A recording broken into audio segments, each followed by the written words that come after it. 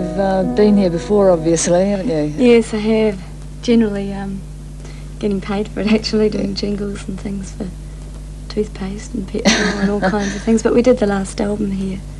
Getting on to the new album, maybe, it seems to have more of a live sound than the last two.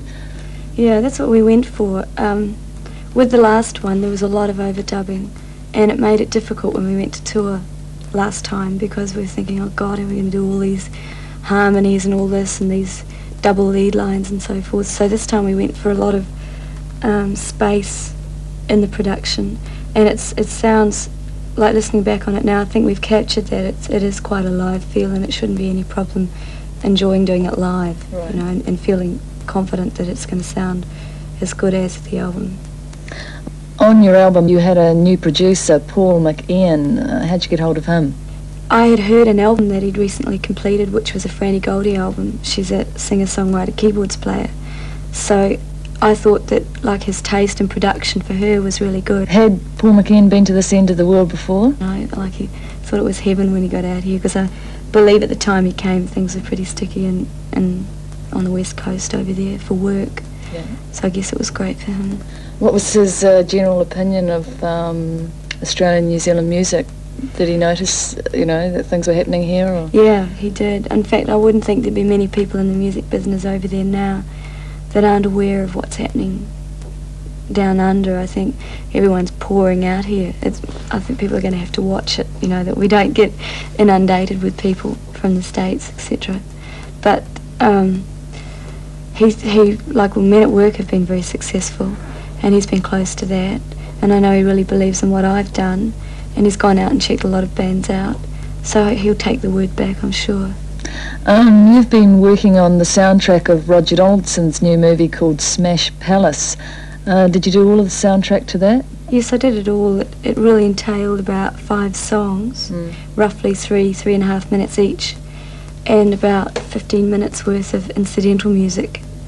Um, it was something quite different to attempt, really, for me, but I'd love to do it again because it's a good experience working with uh, doing the music and then seeing it together with the film. We actually did it the other way around. Normally, a person that does a score will do it to, to the pictures so that they get everything bang bang. Um, because of timing, we had to do it the other way around. So a lot of the music was done from Roger and I rapping about the feel of the film, uh, the different shots they were going to do, and quite ironically, it, it, it worked. I'm not saying it would always work that way, but um, I like to try it the other way too. Sharon, from this short visit to New Zealand, what are your plans from here? I go back to Australia for a week and tidy up the rehearsals that we're doing. I've just got a band together over there and we've rehearsed the set ready to go live. Learnt all the songs, so now we've just got to work on lights and production and running everything together smoothly. So we'll spend a week on that. Um, then I got to Japan for a week and when we come back we do our first gigs in Australia, which is about, they start about November 10th. Is it a nationwide tour of Australia? No, not this time.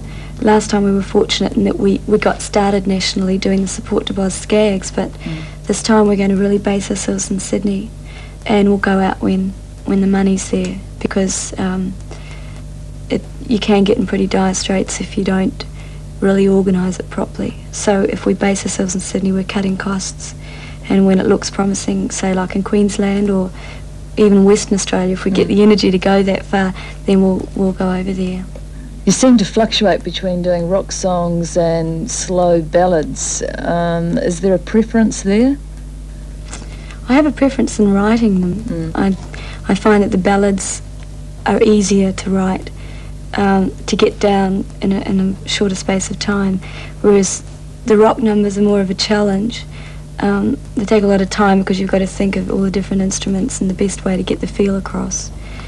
So I suppose the ballads come a little more easy, but I like to do both. So that generally that's why there's that sort of contrast on the albums. I think the contrast, say on the new album, is very similar to the last one. The balance of ballads to to the rock numbers.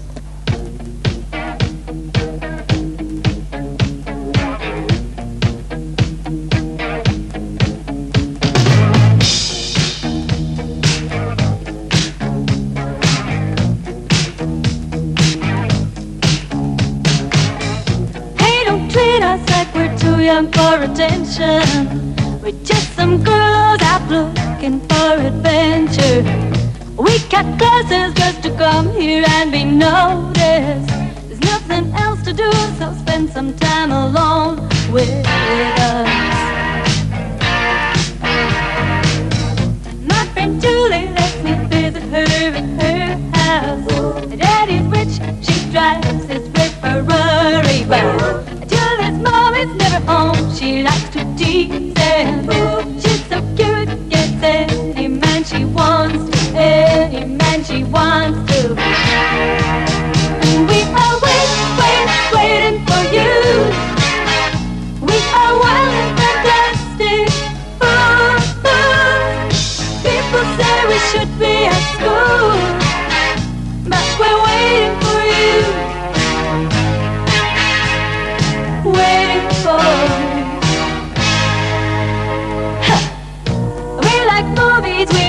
rock and roll and romance. We like anything that occupies our spare time. I like your car, so why don't we go driving?